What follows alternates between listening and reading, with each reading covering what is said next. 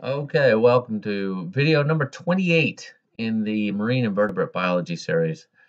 And this is the fourth in the phylum Echinodermata series. And we're going to be looking at class Echinoidea, which are the urchins. We can see quite a variety of shapes and um, uh, spine configurations from the classic henna to the pencil urchin and even something that looks a bit like a limpet that you find on high energy wave shores, just like limpets. Something that spines would be swept off the rock, but uh, these shapes that look uh, streamlined allow them to stick on. So we're talking about sea urchins, but also something called sand dollars and heart urchins. Um, you'll have you have sand dollars in your shell collection. Heart urchins uh, you will find if you go to Pilot Bay and have a dive. Uh, but we're going to have a look at all of those. They're all in the same class, Echinoidea. And what is something that is a common characteristic to this class is that the ossicles that we've seen before, um, and we mentioned this in the first video on echinoderms, uh, they are fused into a shell, and that's called a test, whereas there was connective tissue between the ossicles that allowed flexibility in the other classes. This one, they're fused together.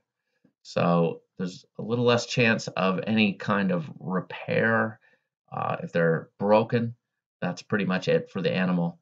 But uh, these ones are fused into a hard test that is, is like what you would find with a echina.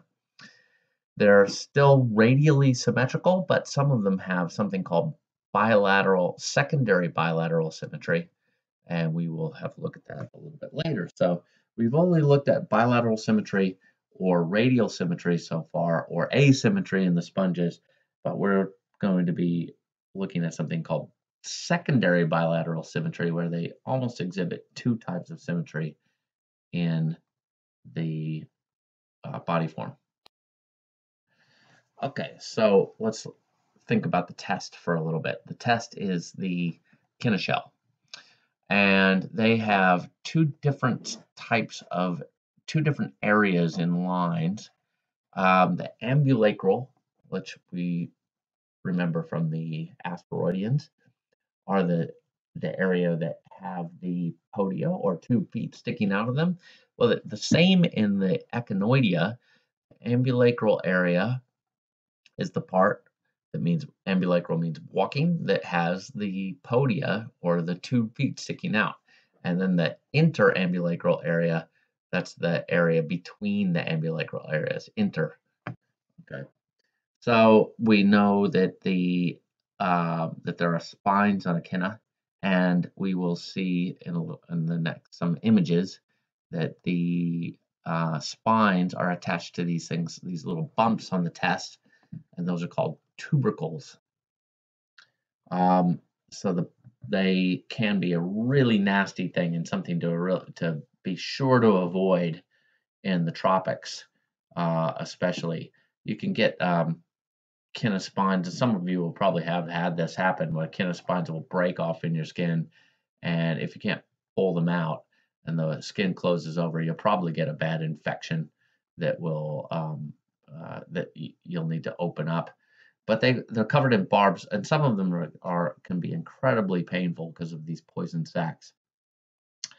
Uh, body surface covered with various types of pedicellaria. All right, we've covered that in asteroidea, but they they work just the same. All right, so let's have a look here at the at these um, photographs. Here you go these barbs are for the big spines, or sorry, these tubercles are for the big spines, the little ones are for the small spines, and you may or may not have ever noticed this with echina, but they'll have different sizes of spines, not just the long, not just one size of spine, the long ones, but they also have like small internal spines, which makes it very interesting. If you take a uh, and you touch it with your finger, at the outside, you'll see a very different reaction than if you say put a pencil or something thin in and you touch the kina in below the level of defense of the outside spine, you'll get quite a different reaction. So very worth doing sometime while you're diving. Uh, they have a madreporite. This is at the very top. Um, they have this thing called the periproct, which is they uh, when you find a kina shell, you'll usually find a small hole at the top of the kina shell if it has been dead and um, that has been eroded. Now this area is not fused together. These are very much like the ossicles of starfish that are have some connective tissue, and this is where the anus is. Um, the there are genital pores at called gonopores on at each of five sections because these have pentamerous radial symmetry and uh, a madreporite at the top of the shell. And here is uh, how the, the spine is attached. Now, if you go and you're diving and you touch a kina uh, gently and just observe it, you'll see that the, the um, spines are not fixed in position but can move around. Now, if they were fused to the shell, then they wouldn't be able to move. So uh, when we look at how that um, spine is attached, it's actually attached by uh, no different than your shoulder to your to your chest.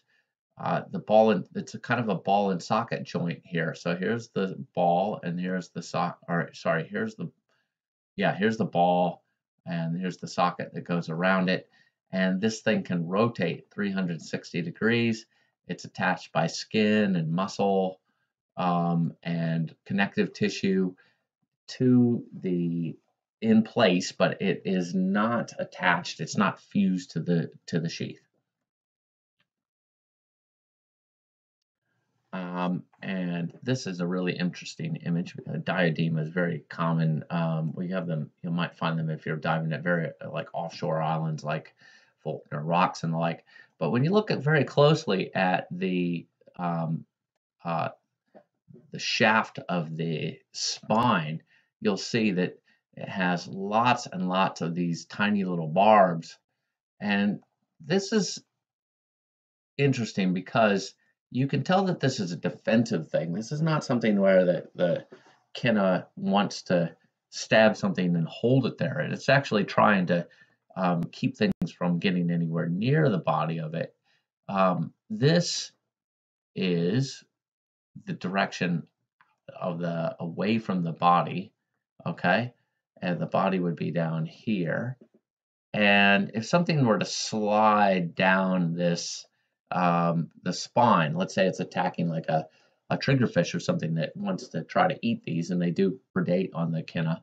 What ha- what happened as this thing slides in is these barbs will prevent it from from sliding too far down because they go against the direction of something attacking.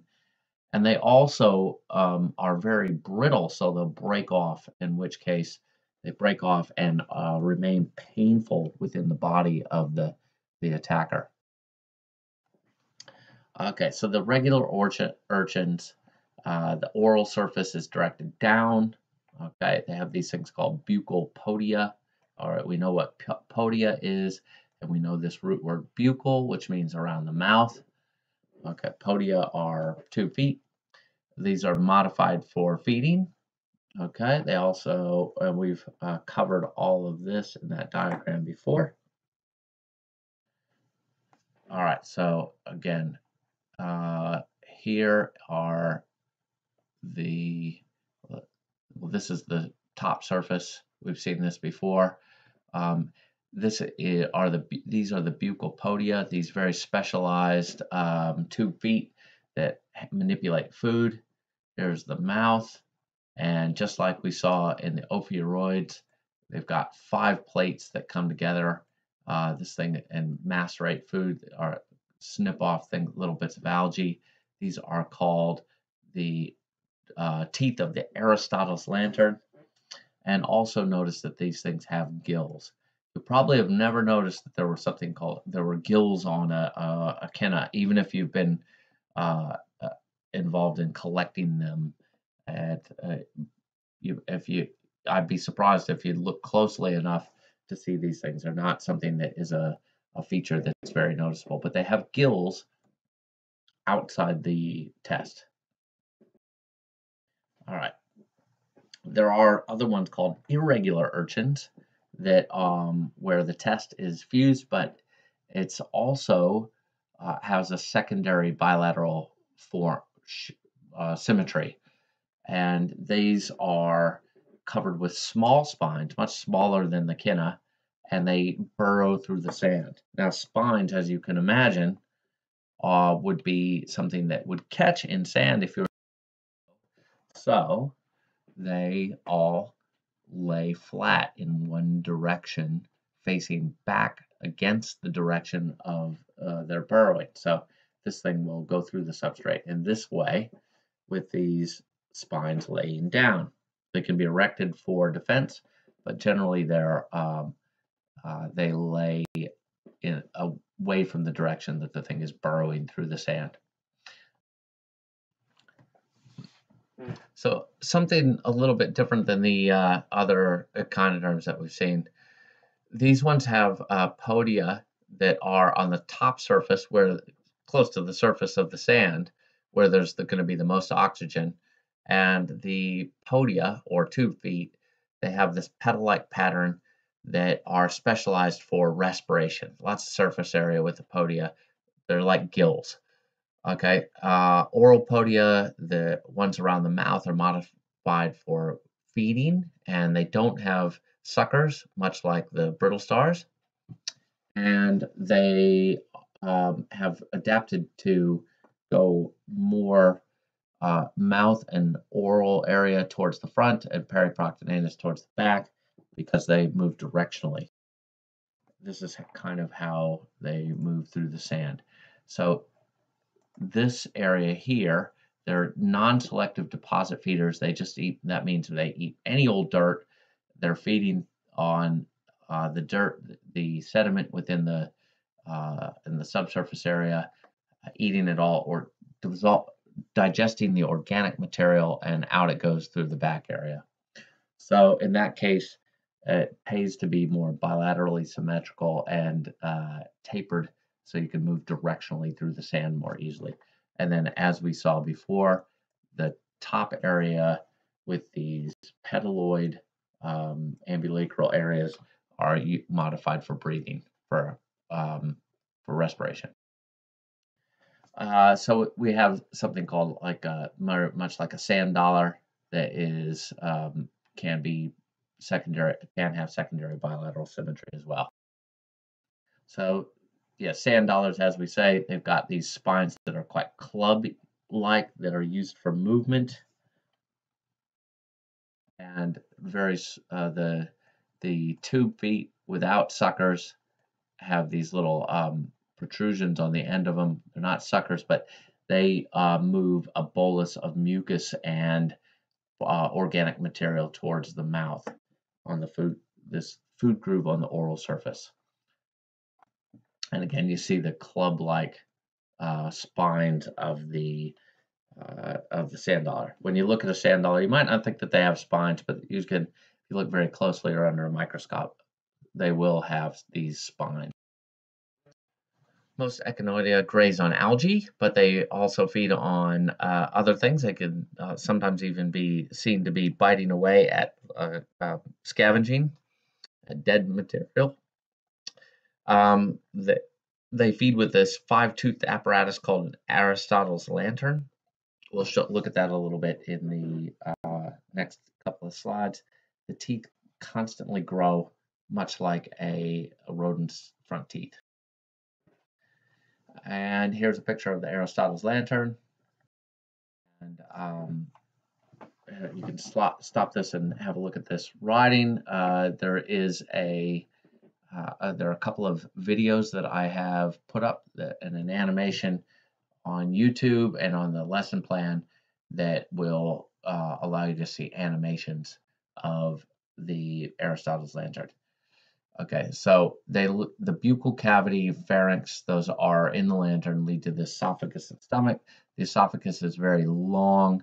If you ever break open a echidna, you'll see these little green balls, which are actually bite of algae that are being digested.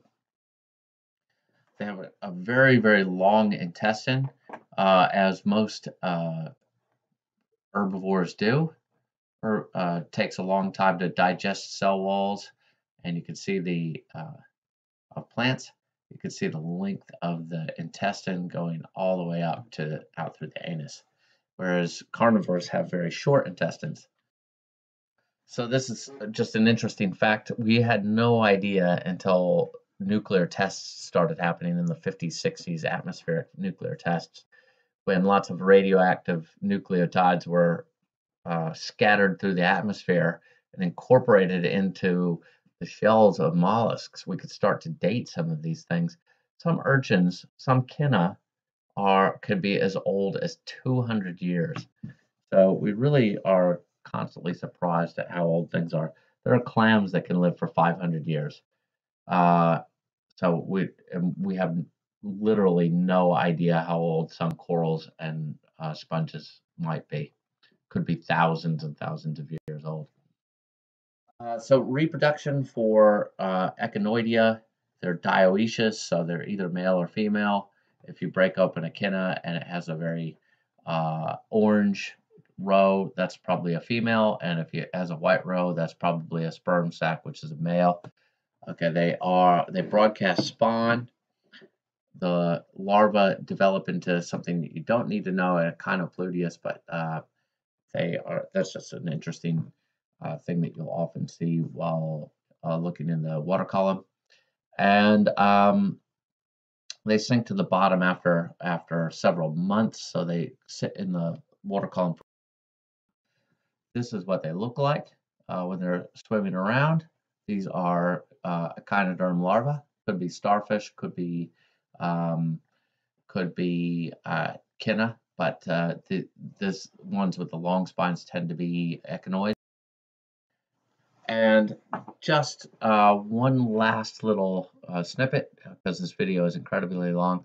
Some of these um, things will actually secrete a enzyme that will erode rock, and they can live collecting uh, algae in very high vol high energy environments, um, and they carve out a little actually depression in the rock where they can um, jam themselves in with their spines.